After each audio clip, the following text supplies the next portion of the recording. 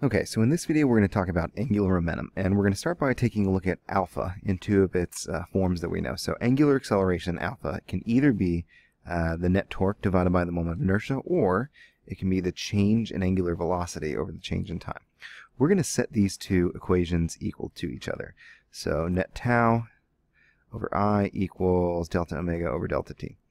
Then I'm going to multiply both sides by i and by delta t so that I get sigma tau times delta t equals i times delta omega. This is what's known as angular impulse. And it is analogous to linear impulse, where net force applied for an amount of time is equal to m delta v.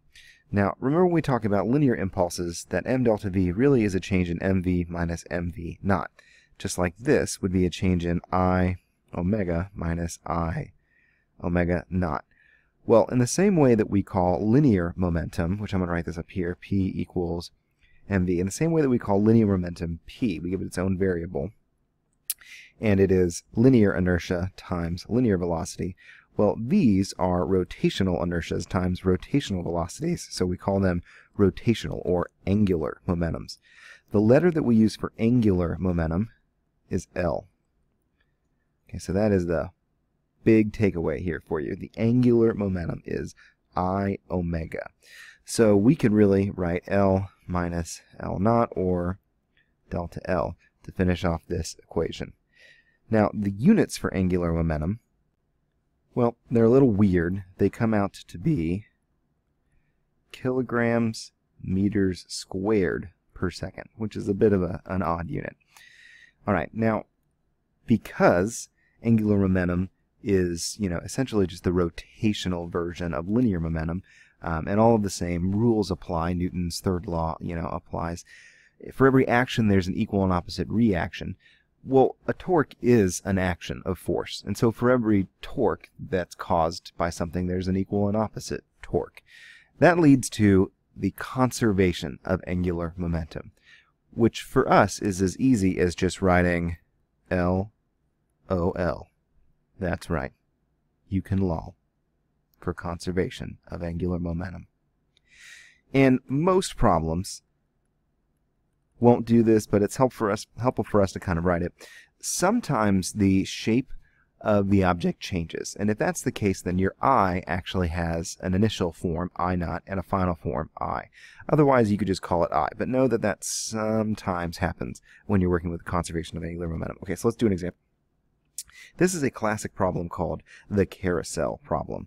Now, if you don't know what a carousel is, oh, there's angular momentum, uh, it's just this weird thing, right? You can have a fancy carousel with horses and stuff like that, but you're probably more familiar with this rotating platform that you used to use to see which of your friends was the weakest.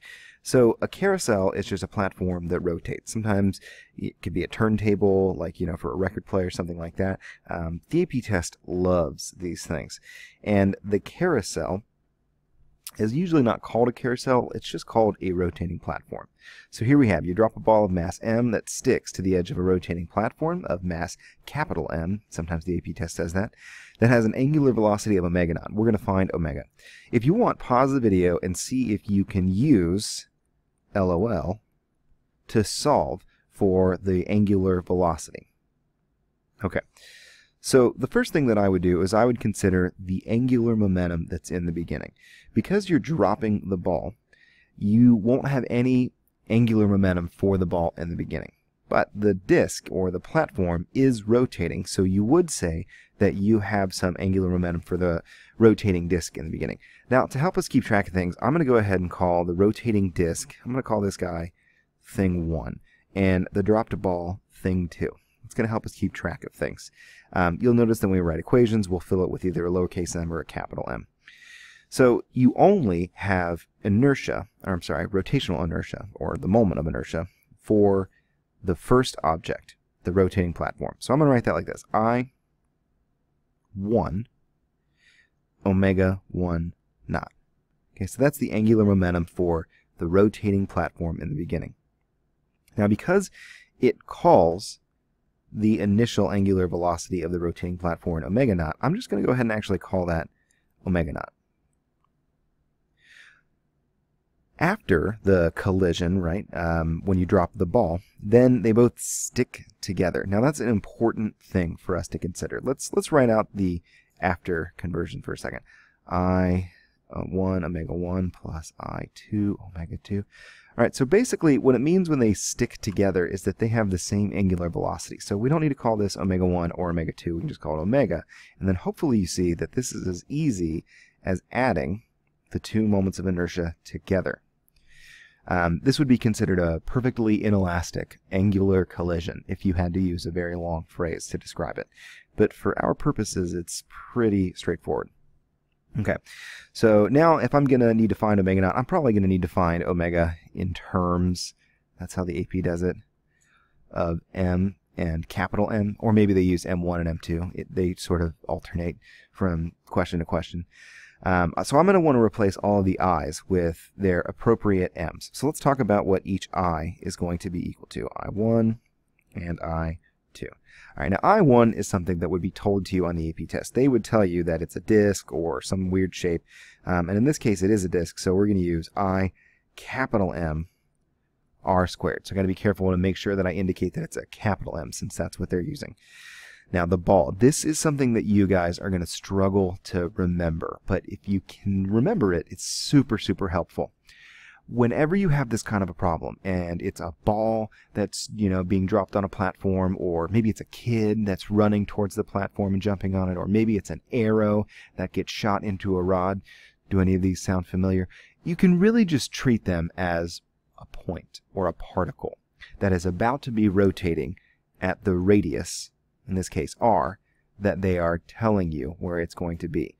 So if it's a point, a particle, or just like a ball, you can just go ahead and say that its inertia, its moment of inertia, is m r squared. Now you have to be careful. Like if for some reason um, this ball was dropped halfway, like in the middle of the platform, then I would write m r over 2 squared. Hint. But for this problem, it's on the edge, so I use R for my radius. But notice that I made a lowercase and a capital case M here so that I can start to see the differences. Okay, so let's plug this in. I'm going to have, actually, I'm going to I'm going to arrange for omega first and then plug in the i's. I've got I1 omega naught over I1 plus I2. Okay, so if I want to fill this out, I would say 1 half m r squared times omega naught over um, 1 half, oh, so hard with the capitals, capital M r squared plus m r squared. All right, now likely likely you are not going to want to simplify this. There are some simplifications that you could do. Um, probably the most obvious is to just put the 2 down here. But really the only simplification that you would have to do for the AP test, if this was asked of you, is you would have to be able to get rid of r squared because you see that there's an r squared in every term. So r squared disappears and we are left with this equation that is totally appropriate. You could do more if you want to, but you don't have to. All right, here's a variant of the carousel problem where the rotating platform initially is not rotating, it's at rest, but something is thrown at it and it starts to move. Maybe it's a kid that jumps on the edge of the carousel, I don't know. Whatever it is, that object has an initial velocity that we're going to call v naught. And more than likely, what you're going to want to know is the angular velocity at the end. Now, let's say, you know, just for fun, let's say that you actually weren't asked to find the angular velocity, but instead you were asked to find the linear velocity. So, like, you're a kid, you jump onto a carousel and you start moving. And I don't want to know your angular velocity. I want to know how fast are you going in a circle? How much circumference per second are you covering? What's your final V? let's talk about how to do this because that is something that is asked to be on the AP test and it's a little bit confusing. Let's start by laughing out loud because, oh my god, how are we going to solve this? And then let's consider what has angular momentum in the beginning and what doesn't. In the beginning, the thing that has angular momentum, this is kind of weird, is whatever is jumping onto the carousel. Now, even though it's probably not going in a circle at that moment, you would still treat it like it's going in a circle. Okay, so here's what I mean. Let's call, again, the ball or the kid or whatever, thing 2, and we'll call the disk thing 1. And we have the same moments of inertia, right? Thing 1 is 1 half capital M r squared. Thing 2 is just lowercase m r squared. All right, so in this problem, what I'm saying is that you do have angular momentum for thing 2. So you would write I2 omega 2 naught. All right, now stick with me here. At the end, you're going to have angular momentum for both objects, but since it's another situation where they stick, right, the idea is that the kid jumps onto the edge and they're probably going to stay there. We don't have to call this omega 1 and omega 2, we can call it omega and lump the moments of inertia together. Okay. So let's talk about what we need to do. Here, I'll write this about what we need to do to effectively find the linear velocity. Here's the key. The linear velocity is inside of the final angular velocity. Right? The linear velocity at the edge specifically is related to the angular velocity by v over capital R. If I wanted the linear velocity in the middle of the disk, then I would say v over r over 2, which would become 2v over r. All right, so I want to find the angular velocity at the end so that I can get the linear velocity out of it. Now, the same is true about the initial angular velocity, v2 naught. This can be considered an angular velocity, omega 2, God, that's terrible, omega 2 naught because it would be v naught divided by the radius r. Take a second, pause the video, make sure you understand this concept. It's weird. The ball, the kid, the whatever, it's not currently going in a circle, but it's about to be going in a circle. And so at that moment, right before the collision, it has an angular momentum. And that angular momentum depends on its linear velocity and whatever distance from the center of the rotation that's about to happen. That's sort of a weird thing. So now we can plug that in, and we've got I2. Actually, you know what? Let's just let's just go ahead here and plug in I2 m r squared. There we go. We got I2 times instead of omega 2 naught, we're going to do v naught over r. v naught over r. Immediately, you should see a cancellation. Okay, here we've got 1 half capital M r squared plus lowercase m r squared. And our angular velocity, which I'm going to go ahead and write as v times r. Now, I hope you see this. Make sure that you can see this. We can get rid of all of the r's. We can get rid of this r, right, because it's on the outside, so it's in every term. And then what do you see is also in every term? This r squared. Ooh, so it's just like when we do net torque problems for Atwood's machines and things like that. We don't need the radius. It's beautiful. We love it. And you get 1 half capital M